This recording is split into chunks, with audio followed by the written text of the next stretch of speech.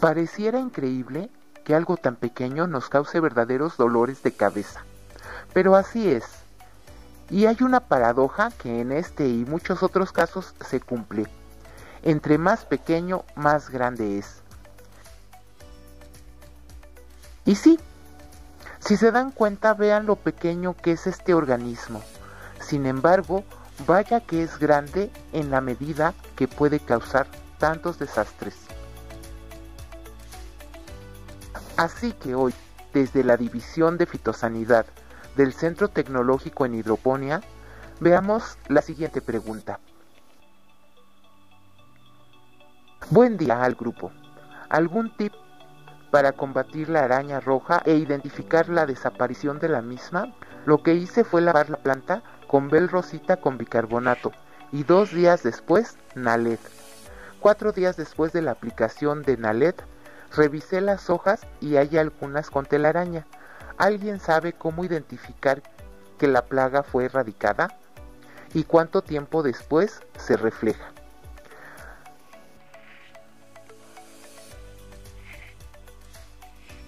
Bueno, veamos más de cerca. Efectivamente tiene toda la pinta de ser una araña roja y está instalada en una planta de tomate. Y uno de los grandes problemas de esta araña roja y varios de sus congéneres es que son polífagos, es decir, igual se pueden instalar en un tomate, una calabaza, un frijol, un pepino. De hecho, en la fresa resultan sumamente nociva. Y la cosa es que en muchas plantas públicas como jardines o parques está instalada. Claro, sin contar con todas las malezas y demás plantas circundantes. Y se propaga con las corrientes de aire. También es tan pequeña que atraviesa las mallas mosquiteras y las mallas antiáfidos. Y claro, además del considerable daño que le hace a nuestra planta, pues recordemos que también es transmisora de virus. Pues como ya sabemos, es un ácaro. Pero, ¿qué es un ácaro? Y les comento esto porque en realidad los ácaros no son insectos, ya que toda la clase insecta se distingue porque en sus fases adultas tiene tres pares de patas. En cambio, este ácaro es un suborden de los arácnidos, ya que todos los arácnidos se caracterizan por tener cuatro pares de patas. Y bueno, de este tipo de ácaros hay muchos. De hecho, están los ácaros de la cama, que aunque no me lo pregunten, se los voy a contar. Estos tienen muy mala fama porque pueden causar leves alergias o irritaciones en la nariz y agravan los cuadros de asma y se alimentan de las escamas de nuestra piel muerta. Pero estos no son los peores, ya que también dentro de esta familia encontramos a los ácaros de la sarna.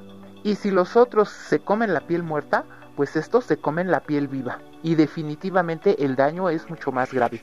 Sin embargo, otros ácaros sumamente dañinos son las garrapatas se instalan y viven de la sangre. Pero lo peor es que muchos son portadores de bacterias y pueden ocasionar la enfermedad del Lyme. Pero bueno, muy en corto les comentaré que entre más he estudiado a las plantas, más he aprendido de mí. Y les comento esto porque a un primo hermano del cuñado del sobrino de mi tío abuelo le dio sarna. Bueno, está bien, lo confesaré. Es horrible tener sarna y al saber controlar a los ácaros en una planta, pues fue relativamente fácil controlar mi caso y entendí de mejor manera el tratamiento médico. Y bueno, luego le puse al perro, pero esa es otra historia. Bueno, pero prosiguiendo con nuestra respuesta, este es un ácaro del orden de los eriófidos y esta araña en particular es de la familia de los tetraníquidos, como es el Brevipalpus y la Tetranichus urticae. De hecho, esta que vemos aquí específicamente es una araña roja o Tetranichus urticae. Y con respecto a la aplicación del Belrosita con bicarbonato, pues realmente no tengo un fundamento para asegurar que funcione o no. En hidroponía, el jabón le causa mucho daño a la raíz de la planta. Así que a la hora de aplicarlo hay que tener mucho cuidado de que no haya derrames.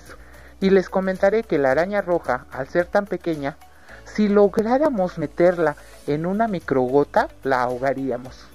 Es decir, la podríamos controlar exclusivamente con agua. Aquí el problema es el tamaño de la gota. Así que el Bel Rosita ayuda a elevar la tensión superficial de la gota o del agua, por eso hace espuma, y tiene un mejor poder cubriente. Y el bicarbonato alcaliniza el medio y esto podría funcionar bien si tengo una planta.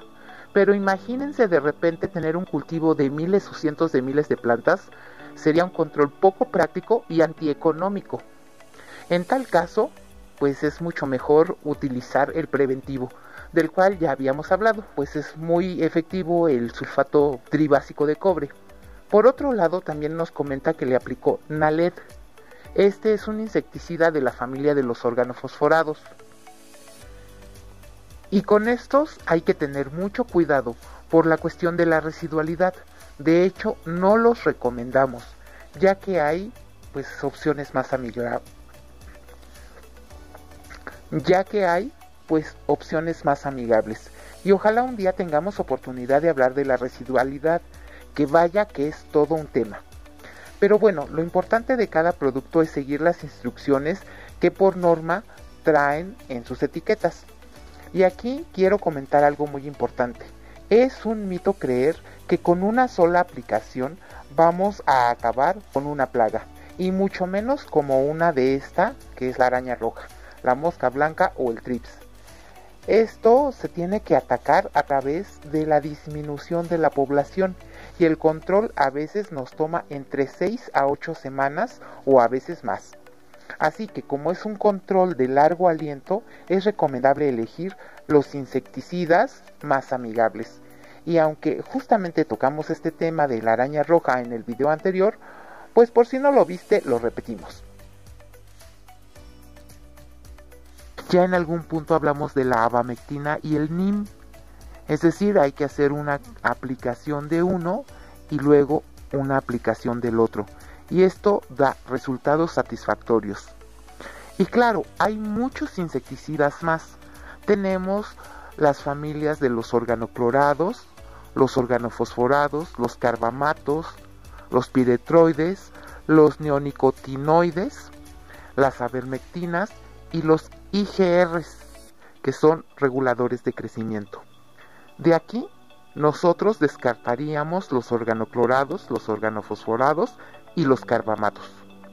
Los piretroides y los neocotinoides tienen efectos muy graves sobre los insectos benéficos, por lo que nos inclinamos por las avermectinas, como la abamectina, y los IGRs, como la azadiractina, que es el ingrediente activo del aceite de NIM, para el control de insectos y ácaros.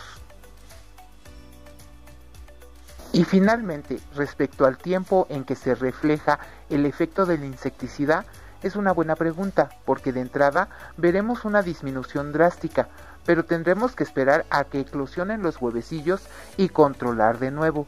Por eso se recomienda cuando hay una alta presión de este bicho sobre nuestra planta, hacer una aplicación por semana. Y veremos que realmente se erradicó en 5 o 6 semanas. Cuando los brotes, que es la parte más suculenta de la planta, estén limpios.